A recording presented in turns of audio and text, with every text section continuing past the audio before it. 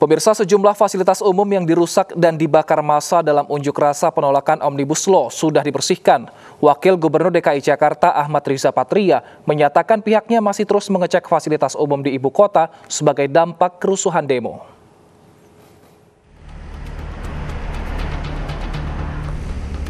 Petugas kebersihan dari pemerintah kota Jakarta Pusat dikerahkan untuk membersihkan lokasi imbas kericuan aksi massa yang kontra terhadap UU Cipta Kerja. Kerugian paling besar berasal dari kerusakan sejumlah halte Transjakarta, sebab beberapa di antaranya terbakar dan sebagian fasilitas umum juga masih dibersihkan. Perbaikan akan segera dilakukan untuk sejumlah lokasi yang mengalami kerusakan agar bisa segera beroperasi. Sementara itu pagi tadi Wakil Gubernur DKI Jakarta Riza Patria menyebutkan pihaknya menyayangkan aksi demo yang berlanjut anarkistis dan akan melakukan pengecekan fasilitas umum di ibu kota Ya jadi kami yang pertama menyayangkan ya aksi pengerusakan dan anarkis, pengerusakan fasilitas umum, uh, ada 20 halte dan 3 stasiun MRT, belum lagi pos polisi, pembatas jalan, cermin, traffic line, traffic cone dan beberapa lainnya. Termasuk di sini ada teater ya yang sudah lama berdiri di Senen ini bioskop, juga ada tiga ruko di sini, ruko tempat jual mainan anak-anak, uh, ruko jual ruko uh, toko buku dan ada rumah ibadah yang dirusak ya. Dan pemerintah nanti akan juga memberikan bantuan ya kepada usaha UMKM uh, sedang kami cek ulang ya berapa kerugiannya dan berapa nanti jumlah bantuan yang akan kami berikan untuk pedagang-pedagang yang dirugikan akibat aksi pengerusakan dan pembakaran. Rencananya Senin pekan depan perbaikan akan mulai dilakukan.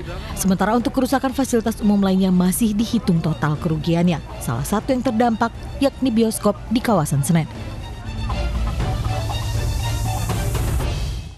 Untuk mengetahui kondisi halte Transjakarta yang ada di Bundaran HI, kita sudah terhubung bersama Revika Sibarani.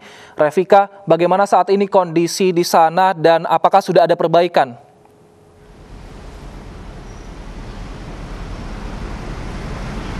Ya Wilson dan pemirsa dapat kami informasikan halte busway Bundaran HI Jakarta Pusat salah satu halte yang ikut dibakar oleh masa pendemo tolak Undang-Undang Cipta Kerja Kamis lalu. Saat ini sudah mulai dilakukan perbaikan pantauan pandangan mata kami saat ini proses perbaikan sudah dilakukan yang sudah berlangsung sejak siang hari tadi jelang sore hari ini. Dan perbaikan dimulai dari membongkar lantai dari halte busway Bundaran HI karena seperti informasi yang kami dapatkan dari Gubernur DKI Jakarta Anies Baswedan yang menyambangi halte Bundaran HI pagi tadi dikatakan bahwa mekanisme pekerjaan dari perbaikan halte Bundaran HI sendiri ini akan dilakukan secara bertahap di mana nantinya akan dimulai dari badan halte Bundaran HI sendiri, kemudian nanti area lainnya akan dibuka untuk umum sehingga nantinya uh, akan dilakukan secara bergantian untuk dibuka dan ditutupnya area-area dari halte busway Bundaran HI sendiri. Karena memang Anies Baswedan menyampaikan pagi tadi bahwa nantinya hari Senin akan dipastikan bahwa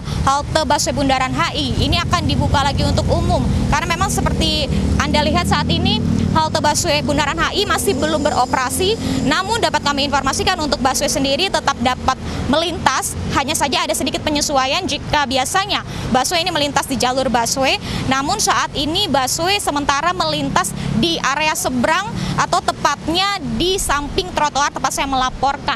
Dan juga penyesuaian lainnya ada sedikit penyesuaian di mana di koridor 1 rute Blok M Kota untuk busway sendiri tidak akan berhenti di halte Polda dan sejumlah halte lainnya. Berdasarkan penuturan dari Gubernur DKI Jakarta Anies Baswedan, uh, halte busway Bundaran HI ini adalah satu dari tiga halte yang memang kerusakannya cukup parah pasca aksi demonstrasi anarkis yang dilakukan oleh pendemo kami selalu. Dapat kami informasikan berdasarkan penuturan dari Anies Baswedan memang ada penambahan halte yang mengalami pengerusakan di wilayah DKI Jakarta hingga saat ini ada sebanyak 46 halte busway yang mengalami pengerusakan dan uh, nantinya juga untuk uh, taksiran harga yang dikeluarkan untuk memperbaiki sejumlah halte, tersebut adalah sebanyak 65 miliar dan Anies Baswedan juga menyampaikan bahwa rencana perbaikan dari sejumlah halte busway di DKI Jakarta ini akan direncanakan hingga lima minggu ke depan. Wilson. Terima kasih Revikasi Barani atas laporan Anda. Selamat kembali bertugas.